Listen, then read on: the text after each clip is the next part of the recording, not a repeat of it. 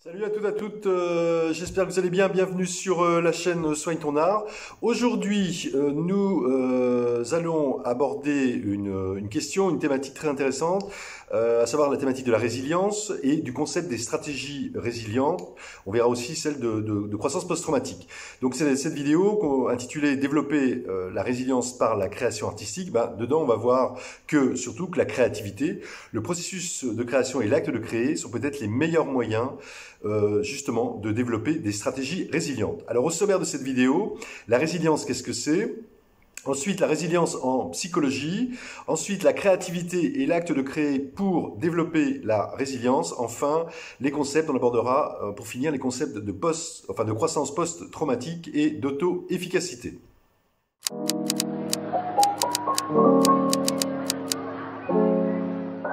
Alors la résilience, qu'est-ce que c'est? Parce qu'effectivement, on en entend beaucoup parler. Alors on va, on va remettre un petit focus là-dessus. Ce qu'on peut déjà dire, c'est qu'avant est un terme utilisé en psycho. Euh, la, la, résilience, qui est euh, d'abord un terme anglais, hein, resilience, c'est un concept en fait issu en premier lieu de la, la physique et de la biologie. Donc qui désigne, pour faire court, la résistance d'un matériau euh, qui subit des chocs et surtout de la capacité d'un système, mais on peut dire aussi d'un corps et d'un organisme, en fait, à surmonter une altération de son environnement. Alors, si on fait un petit point aussi euh, d'un point de vue de la, euh, la, la, racine étymologique. Le terme résilience provient du latin résilire, du verbe résilire, à savoir rebondir, rejaillir. Il s'agit donc, en fait, de, quand on parle de résilience, c'est quoi? C'est de rebondir à la suite d'un événement pour continuer d'avancer. Et en fait, on retrouve cette idée d'ailleurs dans le verbe résilier. Par exemple, résilier un contrat, à savoir se désengager, ne plus être lié, voire ne plus être prisonnier en fait d'un passé et se libérer. Alors ce qu'on peut se dire, c'est que la résilience en fait évoque donc cette capacité de reprendre le, cours de la vie après un événement donné. Et on retrouve cette question euh, de la résilience D'ailleurs, particulièrement dans la nature, parce qu'on parle d'ailleurs de résilience écologique, à savoir la capacité d'un système vivant, un écosystème, autrement dit, à retrouver en fait son équilibre, à savoir les structures et les fonctions de son état de référence, après une perturbation. Et plus encore, récemment, de nombreuses études ont montré que la nature, en fait, est en, en recherche de, de, nouveaux équilibres, euh, en recherche permanente de nouveaux équilibres, et que la nature montre, euh, on pourrait dire, une, une résilience naturelle, hein, une, grande, une très grande résilience, à savoir que même si les espèces elles-mêmes sont affectées par de grandes perturbations, eh bien, les écosystèmes ont cette capacité, ont la capacité de se reconfigurer, surtout de s'enrichir.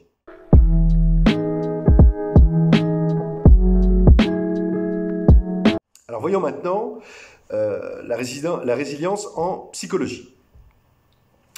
Alors, ce qu'on peut dire, c'est qu'en psychologie, la résilience doit être entendue en fait comme la capacité à faire face à des changements dans notre environnement immédiat, la capacité aussi à vivre et surtout à se développer en dépit de l'adversité. Alors, d'abord, ce concept, il, est assez récent puisqu'il a été développé au, début des années 90 par euh, deux psychologues américains, également pédopsychiatres, euh, Amy, Werner et euh, John Bowlby. John Bowlby, notamment très connu pour sa théorie de l'attachement. Alors, en fait, ce qui est intéressant, c'est que Amy Werner l'a mis en, évidence après qu'elle soit allée à Hawaï faire une évaluation en fait du développement des d'enfants, de groupes d'enfants qui n'avaient ni école ni famille et qui vivaient en fait dans une très grande misère, exposés aux, maladies et à la violence. Et en fait, elle les a suivis, elle a fait une longue étude, une très grande étude pendant 30 ans. Et qu'au bout de, toutes ces années, euh, elle s'est rendue compte que 70% de, de, ces individus, de ces individus vivaient dans des conditions terribles, mais que 30% euh, savait lire et écrire, avait même appris un métier et fondé un foyer. Et en fait, de là est né le concept de résilience, qu'elle a vraiment travaillé sur comment, euh, parmi euh, cette population, 30% avaient réussi à, donc à, pouvoir accéder à des conditions de vie tout à fait correctes. Alors, ce qu'on veut dire aussi, c'est qu'en France, bah, le concept de résilience a été largement diffusé par Boris Cyrulnik, alors on va s'appuyer un peu sur, lui justement en disant que notamment que Cyrulnik postule que pour lui la résilience est plus qu'une simple capacité de résistance et que si la résilience s'applique à tout le monde, on ne peut, selon lui, parler d'évolution résiliente que dans le cas de personnes ayant côtoyé la mort. Plus précisément encore, selon Cyrulnik, l'évolution résiliente peut être plus ou moins forte selon les individus et que face à un traumatisme sévère, bah, certains vont afficher, certaines vont afficher euh, d'eux-mêmes des stratégies résilientes, de résilience, d'autres non, ou de manière très marginale. Ce qui signifie que, en d'autres termes, que la résilience, a priori, fait appel à de l'inné et de l'acquis. Et qu'en d'autres termes, la résilience, en fait, provient en partie du déterminisme génétique, mais aussi de l'expérience euh, de vie et de l'éducation. Ce qui expliquerait pourquoi certaines personnes, en fait, arrivent à absorber ou, on va dire, digérer plus facilement un trauma que d'autres.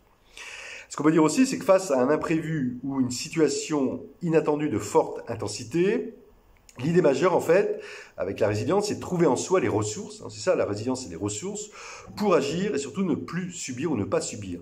C'est donc précisément ce qu'est la résilience. Cette capacité de reconstruction qu'on peut avoir, que peut avoir un individu, mais aussi un groupe, après un traumatisme. Et que sans parler ici de traumatisme, mais même de changement, considérant qu'un changement peut s'avérer être un, traumatisme selon sa nature, peut générer un changement peut générer un traumatisme. La résilience, donc dans le sens de, de, ressources, doit être entendue comme la capacité à faire face à des changements dans notre environnement immédiat et à mettre en place en fait des stratégies de régulation de nos émotions pour agir au mieux et s'adapter.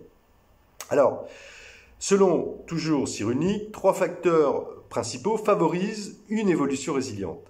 Il y a d'abord le tempérament, à savoir la souplesse, on va dire la faculté d'adaptation, la confiance en soi, l'estime de soi également. Il y a aussi le milieu affectif et, en dernière instance, un environnement soutenant.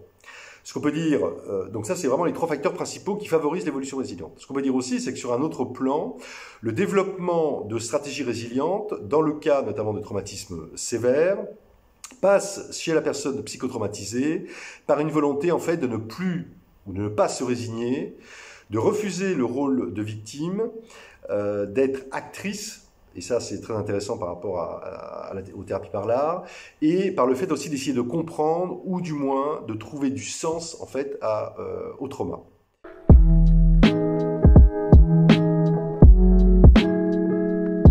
Voyons maintenant la créativité et l'acte de créer pour développer la résilience.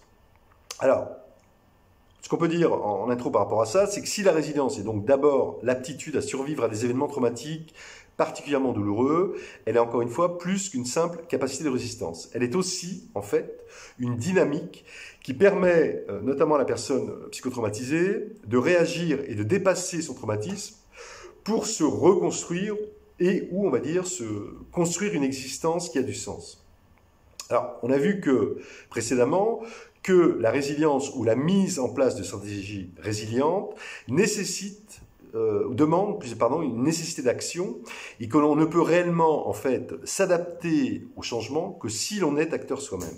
Or, justement, ça, on l'a déjà vu précédemment, les thérapies, les thérapies par l'art, dans ce sens, sont tout à fait euh, opérantes, puisque, à travers le processus de création, elles favorisent la créativité secondaire, c'est-à-dire cette créativité qui permet de mobiliser une grande partie de nos ressources psychiques pour créer.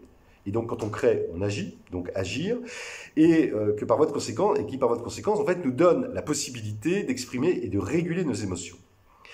Par ailleurs, si on s'appuie à nouveau sur les travaux de Cyrulnik, la création et l'acte de créer peuvent particulièrement permettre de favoriser la résilience en se découvrant autre, en fait, avec d'autres croyances, d'autres valeurs, mais aussi et surtout en laissant une empreinte, une trace, en fait, qui n'existait pas auparavant. À savoir que, en exprimant esthétiquement nos émotions, par le dessin, la peinture par exemple, la musique, la danse, encore l'écriture, euh, nous pouvons, euh, on va dire la personne psychotraumatisée, avec son trauma intégré, peut s'inscrire à nouveau dans la vie. Ce qu'on peut dire aussi, c'est plus largement dans le domaine artistique, on peut citer le cas de, très nombreux artistes. Alors, moi, je renvoie aux vidéos qu'on a faites sur Beuys, sur Joseph Beuys, sur Sam Francis.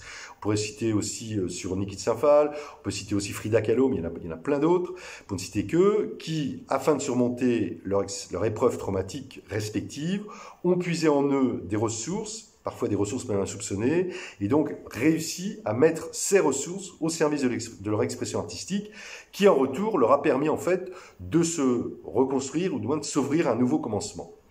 Et ce qu'on peut dire, c'est qu'en dans le champ des thérapies par l'art, on peut assimiler en fait la résilience à réparer d'une certaine façon par euh, la médiation artistique, par la création, par le processus de création, de réparer son lien au monde, considérant que pour développer des stratégies résilientes, il est nécessaire euh, fondamentalement de le faire en deux étapes. Alors la première, c'est d'abord par une mise en forme euh, de, l'événement, donc on va dire par du traumatisme et des souffrances générées par le traumatisme, ensuite par la mise en forme des capacités en fait, des forces, des potentialités, et là je renvoie euh, aux vidéos sur, euh, réalisées sur la question traumatique, comment dépasser un traumatisme par l'expression artistique. mais dans les deux étapes, les thérapies par l'art sont particulièrement opérantes parce que pour exposer son traumatisme, nous savons que l'expression artistique permet de contourner l'oralité et permet en plus de pouvoir surtout exprimer beaucoup plus, facilement la souffrance ainsi que les émotions négatives telles que la colère ou la rage. Par ailleurs, l'expression créatrice permet de remettre du lien entre le somatique et le psychisme. Enfin, euh, et là encore, ainsi que nous l'avons vu lors des, vidéos consacrées à ce sujet, les thérapies par l'art sont très opérantes pour euh, travailler euh, bah, par, euh, sur les notions de confiance en soi, d'estime de soi, euh, à savoir des, notions fondamentales pour développer les ressources que l'on porte en soi. Et c'est ça la deuxième, on va dire la deuxième étape, euh, justement, où sont, les thérapies par l'art sont particulièrement opérantes au sujet de, de, de la résilience.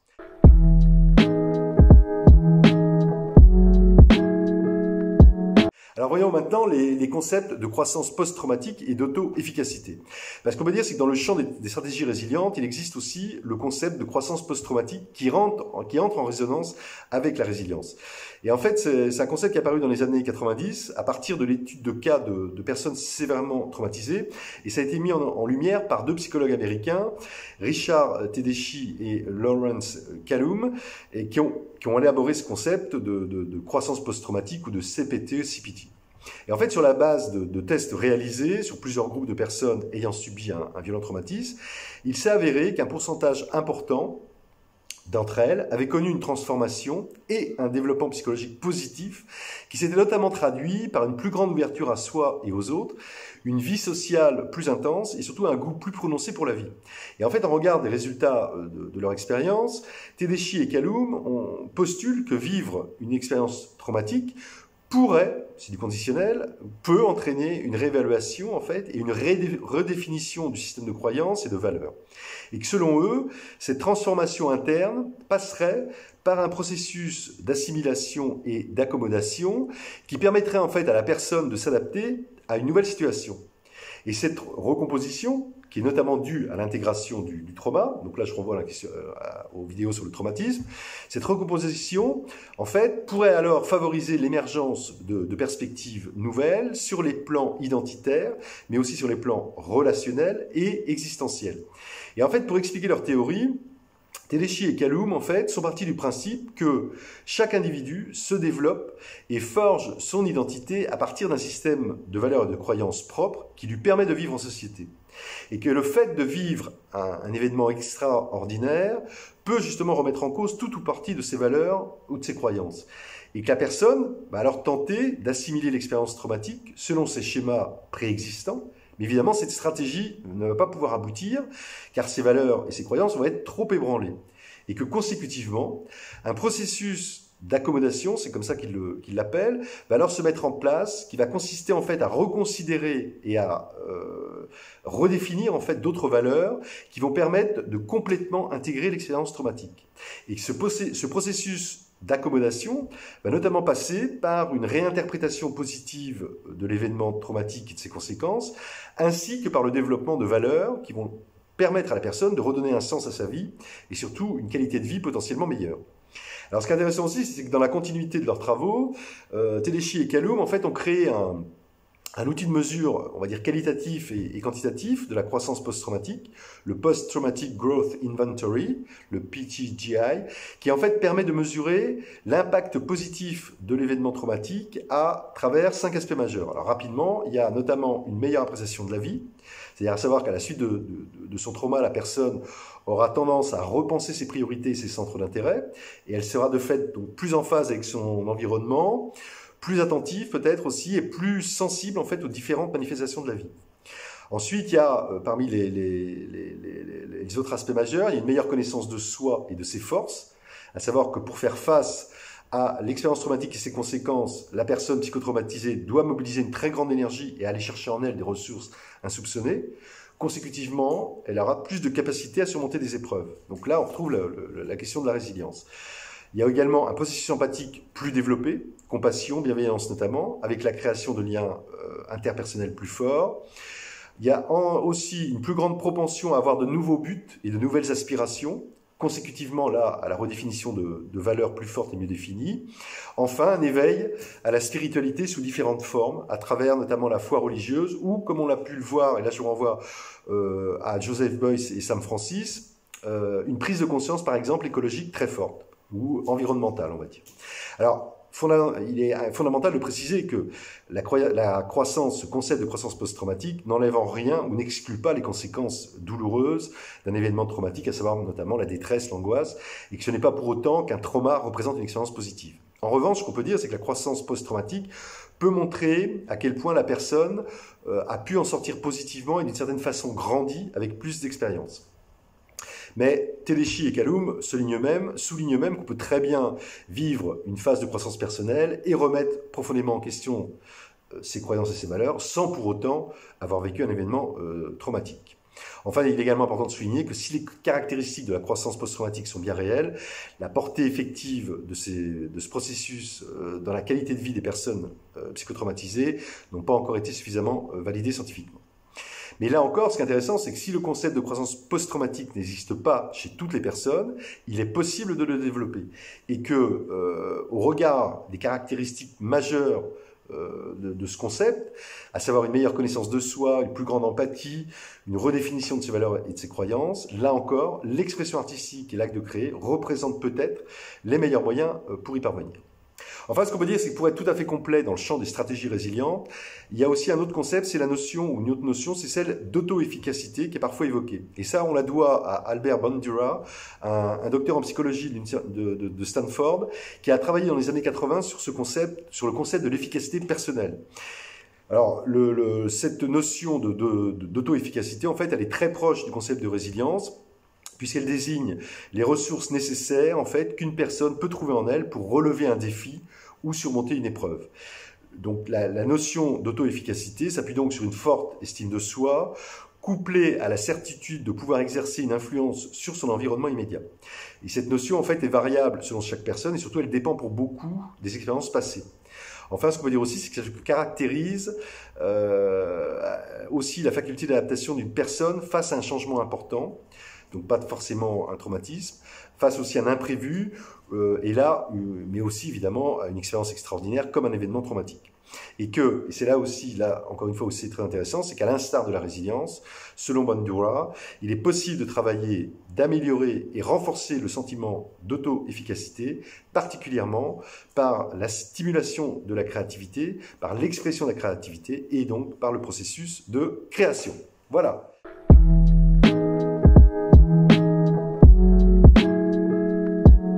Alors à lire quelques livres sur cette notion euh, fondamentale.